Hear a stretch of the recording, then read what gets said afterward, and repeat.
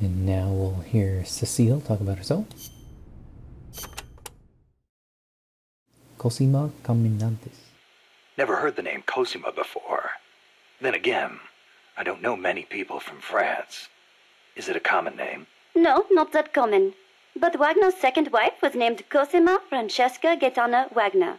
Huh. You know, Kojima is a common last name in Japan. Kaz? It's just funny how, you know, I'm part Japanese and Cecile's middle name is so close to Kojima. It feels like destiny unfolding. Holy shit, Kaz. You think so? Oui, oui. That's a beautiful name you have. Cecile Cosima Caminades. Wait a second. Cecile Cosima Caminades. Cosima Caminades. Hey, that's close to Close to what? your name. It sounds almost like the sentence Kojima Caminandes in Japanese. And what does it mean, s'il vous plaît? Well, kami is the word for God in Japanese. Nandesu, well, it's hard to explain, but placed after God, it would turn the sentence into is God. Okay. So? Kojima is God. Cecile's name is a message. I don't believe it. Kojima is God. Kojima is God. Um, Kaz? Jesus Christ. Kojima. And Kaz. And everyone. How are you enjoying Mother Base so far? Ah, it is wonderful. Good to hear. I was worried someone as cultured as you would find the plant a little uncouth. Uncouth? Ah, You've got albatross, and frigate birds, and terns, and tropic birds. Seabirds I have never had a chance to see in France. Oh, well, uh, great. I'm sorry, I know I should not spend all day chasing birds. Is there anything I can help with? I appreciate the offer, but I'm not sure what I could ask you to do. Well, I'm certainly not cut out to shoot a gun. Cecile, where'd you learn to move through the forest like that? The birds weren't scared of you at all. Becoming one with the forest is the very essence of bird watching. They won't behave naturally if they sense a human nearby. And that can really affect your observations. I see. Kind of like scouting then. I am also good at spotting birds from a distance, tracking them based on the tiniest of clues, and being aware of my surroundings. You're starting to sound even more like a scout. The only way to find a bird is to think like a bird. Now, think you can find a place for me? Yeah. If we need to find some birds. She certainly has a positive attitude about being on Mother Base. Oh boy. Oh boy. Paris. Did you live in Paris your whole life before coming here? Ah, yes. It is my favorite city. Paris is the world capital of art and culture. It has the latest fashion, the best cuisine, and the most elegant, refined people. The beauty of the Champs Elysees at night is almost unearthly. The name comes from Elysium, the name of paradise in Greek mythology. Heaven, in other words. Hmm. Must be nice for some people. Not for me. Are you saying the cultured life does not appeal to you? I'm saying I never had a chance to lead one. Not that it appealed to me anyway. You prefer war? I don't like war. Life outside heaven just suits me better. That is a hard way to live. But if you do ever come to France, I will show you around Paris. Then you will see what heaven on earth is really like. Well, that's kind of lewd.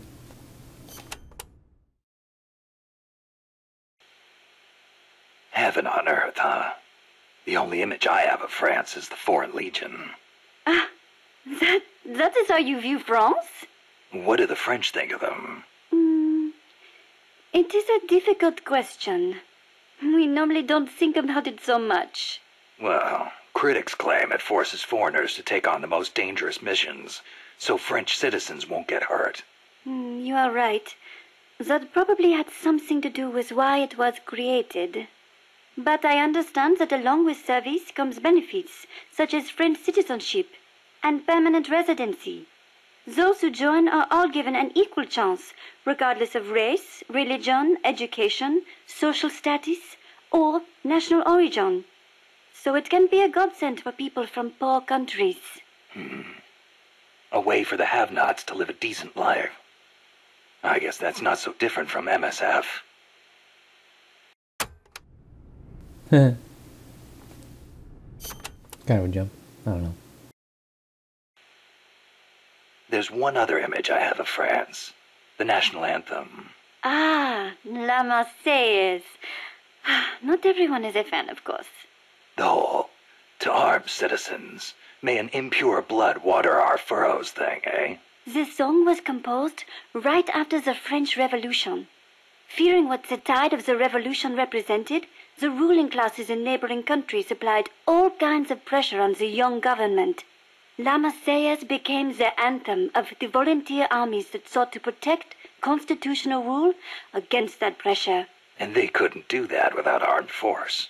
Oui, I agree, some parts are a little belligerent. But we must not forget that if it were not for them, France would not be the democracy it is today. Mm-hmm. It's a very interesting anthem. Have you ever seen The Umbrellas of Cherbourg? A movie? No, never seen it. No? It came out ten years ago. Catherine Deneuve. She's so beautiful in it. And the music, the costumes, the colors. Ah, Huh. it takes place in the naval port of Cherbourg. That was a beachhead in Normandy. It is set back when young men were conscripted to fight in the Algerian War. The French government called the conflict a public order operation in northern Africa. I was still a little girl then, but I can clearly remember one of my friend's older brothers going off to fight. Yeah, national service is required in France. The war splits up two young lovers. Director Jacques Demy's lyrics and Michel Legrand's music ah, tore at my heart. I will never forget its wonderful melodies. Are you okay? It changes lives, changes fates. War is not a good thing. For some reason, it strikes a chord to hear that coming from someone like you. Hmm. Snake is touched. Guess I gotta check out that movie. Hmm.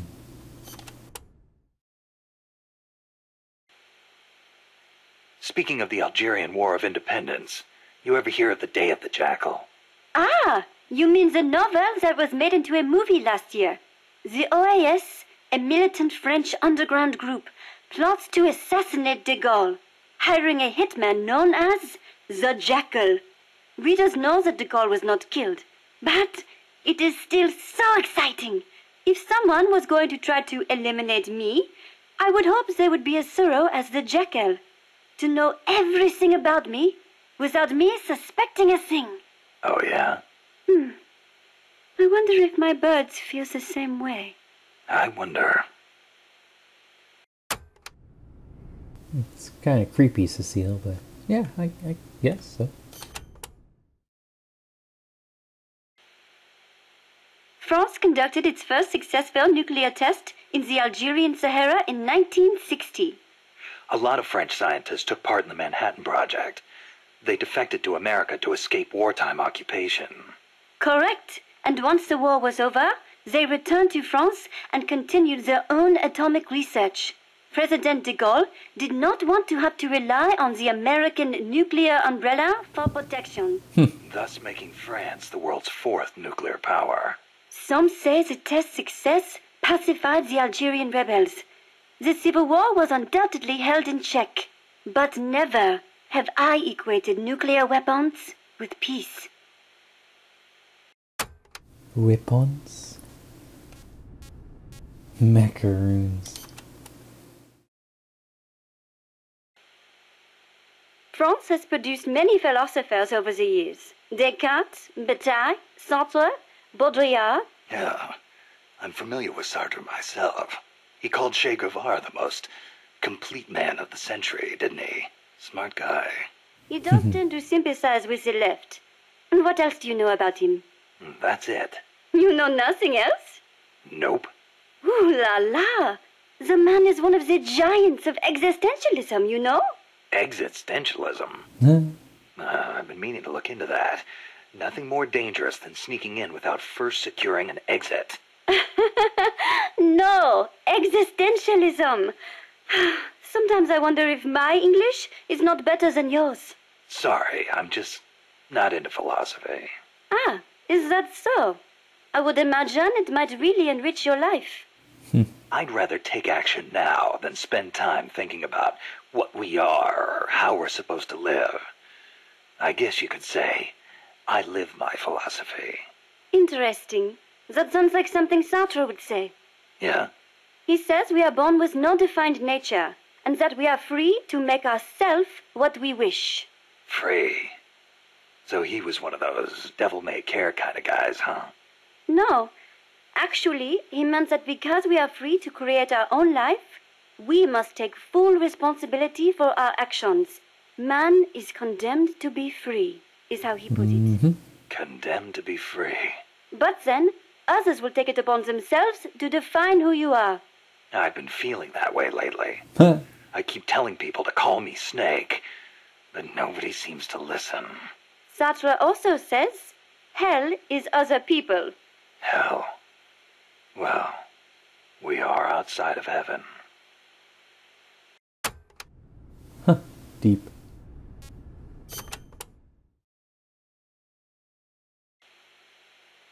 Do you have an interest in the visual art, Snake? Not really. Please, no deep conversation. but you have heard of Picasso, yes? Yeah, I've heard the name. Sadly, Monsieur Picasso, co-founder of Cubism, passed away in the south of France last year. France was his home, you know. Huh? I thought he was born in Spain. Do you know his full name? Pablo Picasso. Anyone would know he's Spanish with a name like. Huh. Shows what do you know. What do you mean? Okay, here we go. Ah! Pablo Diego José Francisco de la Pala Juan Nepomuceno Maria de los Remedios Cipriano de la Santísima Trinidad Ruiz y Picasso. What do you think? That was his full name. Still, I don't see how. A master of modern art, a genius who crafted over 100,000 works in various styles, spending the greater part of his life in France. The man is a part of our culture. Yeah, that kind of stuff is of limited use in my field. Hmm. But back to the point.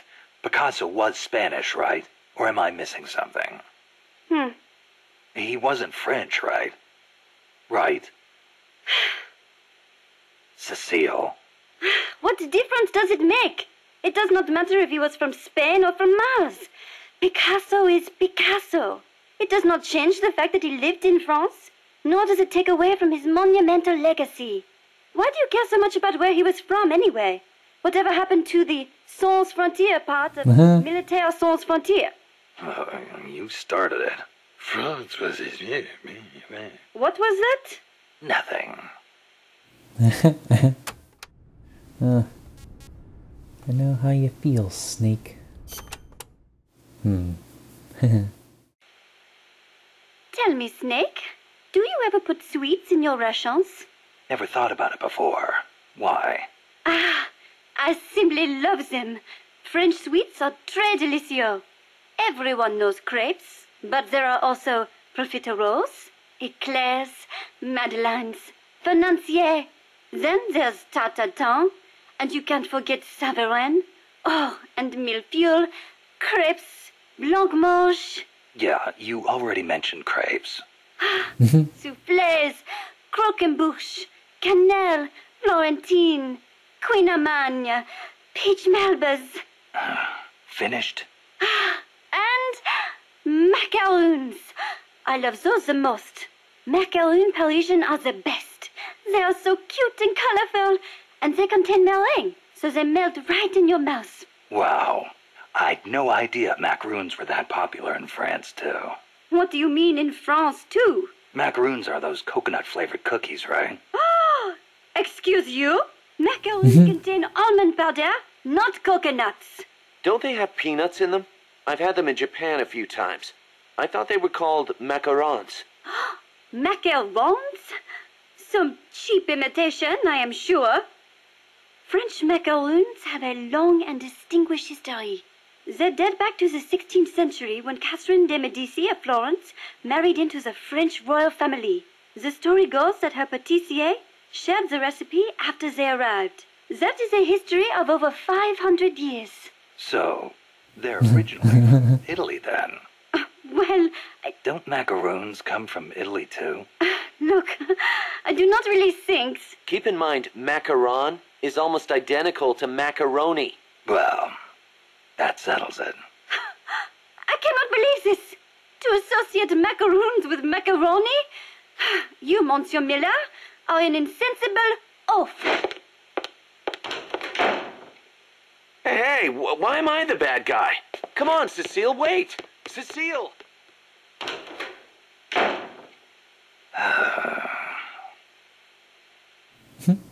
I knew they recorded these in some awkward room. Uh, but I don't know how to explain Miller being there. I had this feeling of him lingering outside of the door and slipping in.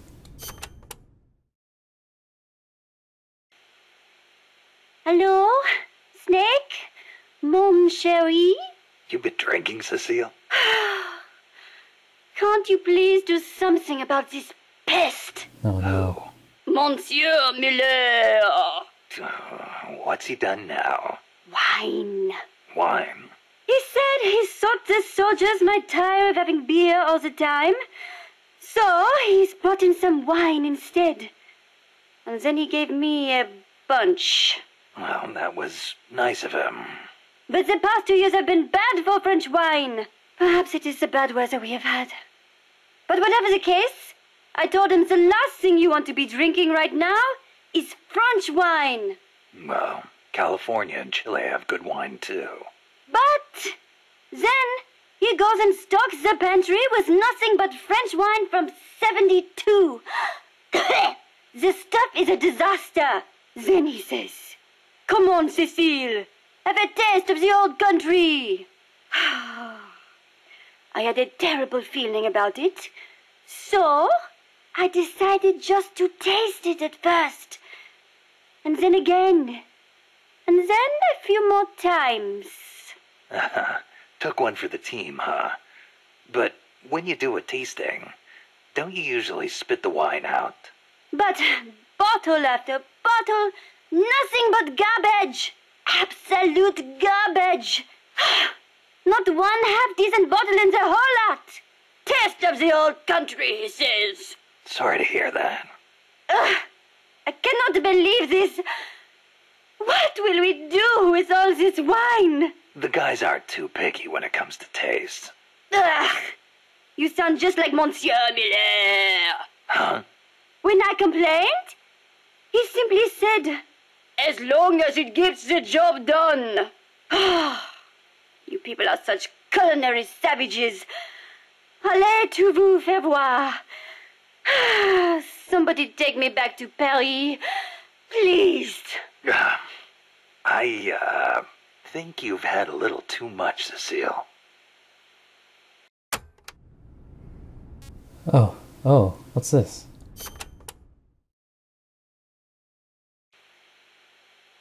You seem like a very, uh, how do I put this, uninhibited woman.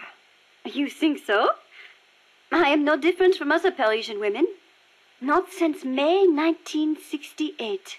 May 1968. The general strike that almost brought down the president. Right. But it was more than just a strike. It started with the student movement at Strasbourg University in 66. They did not want anything from the country, but instead sought reform at the school. That helped ignite a fire in the hearts of scores of dissatisfied young people. And the movement spread all over France. Great. It was more than just opposition to Vietnam and the de Gaulle administration. People also called for free love and the breaking away from other old values. Looking back, I am not sure what the main goal really was. Exactly. But whatever the case, it was more of a young people's movement than a strike or a protest. So, it was like the hippies or something? In some ways, perhaps. But we weren't blinded by mysticism, nor did we seek a return to nature. I see. So, while they wanted to retreat to their closed communes, We tried to change the world. And in doing so, we learned that when everyone comes together, it can be done. you had a lot more success. In America, hippies have just become a social problem, while I hear Japan's student movements crashed and burned. I wonder what was different. Good question. I'd like Miller? to know myself. Oh, well, that's disappointing. I was looking forward to some more Miller. Rest in peace.